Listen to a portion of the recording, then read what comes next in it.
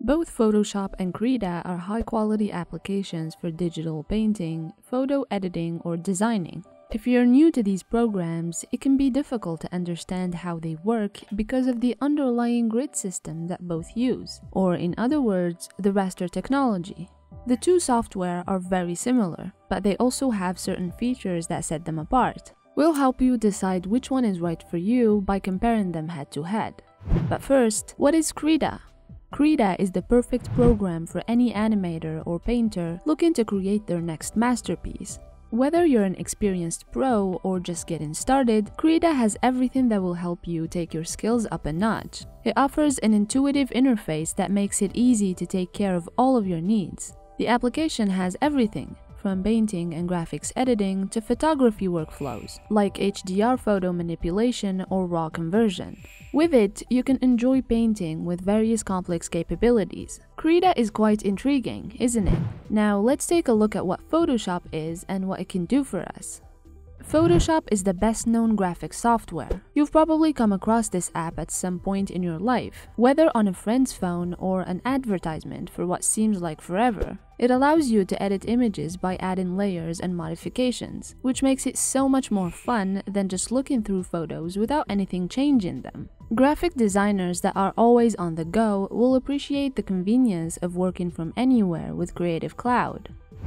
Interface and Learning Curve the user-friendly interface of Krita allows you quick access and study of features without feeling overwhelmed or intimidated by other more advanced software like Photoshop, which can sometimes have too many bells and whistles, though this may be an advantage if your goal was something specific. So beginners might prefer Krita as its simpler interface makes learning easy, with little frustration or confusion about how things work.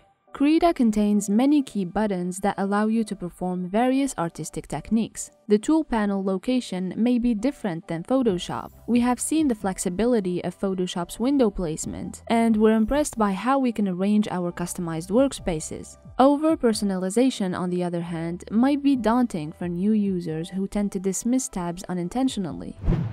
Compatibility in comparison, Adobe Photoshop runs on iOS, Android, and Windows, whereas Krita has Linux as a plus.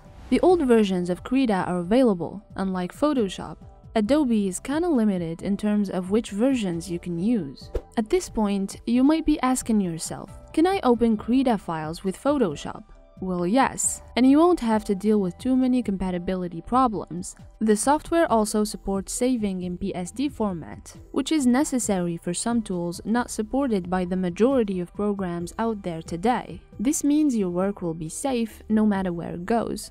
With the release of their new iPad application, Adobe has finally made it possible for users to work on iPads. This means you can now use your favorite graphics program like Photoshop in any environment. Tools and features Krita is a popular application for artists of all kinds. One thing that it does well to help you with creating your artwork can be seen in its unlimited canvas feature, which provides ample space on your computer screen so you don't have any limits or borders when working in Krita. It's a high-quality painting program that has an AI assistant built in. This tool supports CMYK color schemes as well as RGB and HDR capabilities for your artwork. You can also use their integrated drawing aid anytime you need help with your graphics or designs on the fly. It's always there when needed most, with every image file type imaginable, including PSD. Krita is a fantastic app for artists. This brush library offers the users many options, depending on what they need or want to create with their work. It has big custom brushes available as well. Additionally, while using this awesome tool, your size and thickness can vary depending upon preference. If you don't find one perfect enough in Krita's standard set, then there are plenty of other high-quality sets available through plugins that will surely meet all demands, making sure every single project goes smoothly and quickly into completion time time after Sweetheart deadline without any problems whatsoever. Krita is the perfect tool to quickly create digital paintings. It was created by a worldwide group of enthusiasts who want everyone in this world to be able to paint with their own two hands. It supports OpenGL among other things, so if you use it with Krita, its performance can be increased. The image will zoom, mirror, rotate, and pan rapidly as a result.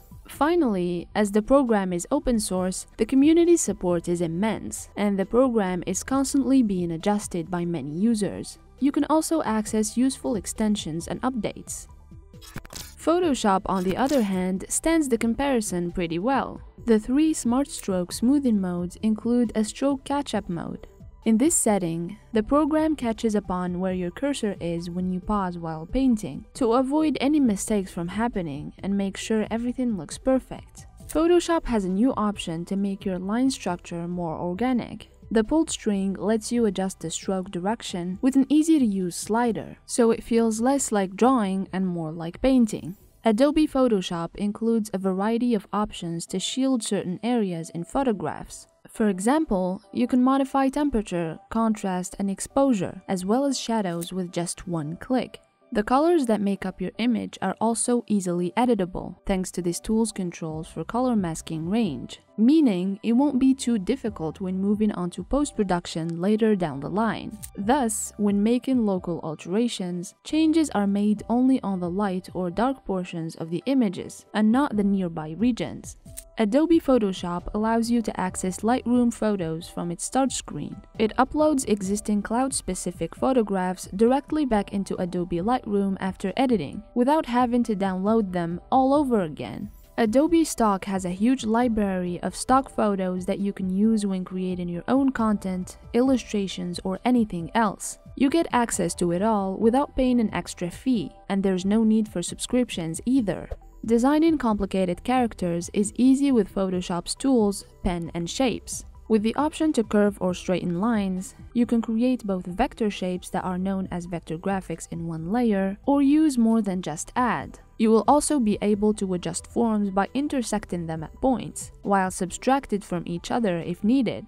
The software has been tailored to take advantage of all available hardware in order that professionals can paint on anything, from a phone case up through large mural paintings, without sacrificing their creativity or skills, as they work with more advanced tools such as layers and masks, while still keeping accessibility features like undo or redo, so you don't have a breakout into hives when things go wrong. Pricing you can only obtain Photoshop through a subscription that will cost you around $20 per month, while Krita is free. Krita is a great choice for those who want to create professional looking artwork without paying an arm and leg. Photoshop, on the other hand, will cost you, but with all of its features, it may be worth every penny. So, at the end, are we ready for a final verdict? Krita or Photoshop? Krita is perfect for digital drawing, but Photoshop has been known as the king of graphic design and photo editing for ages. What is the best tool?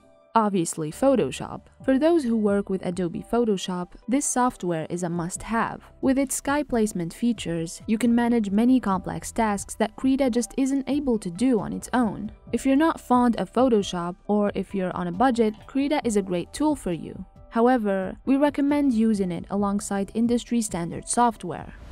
We hope you found this video useful and informative. Comment below if you think that we've missed something or if you have any other suggestions. Thank you for watching as always and see you next time.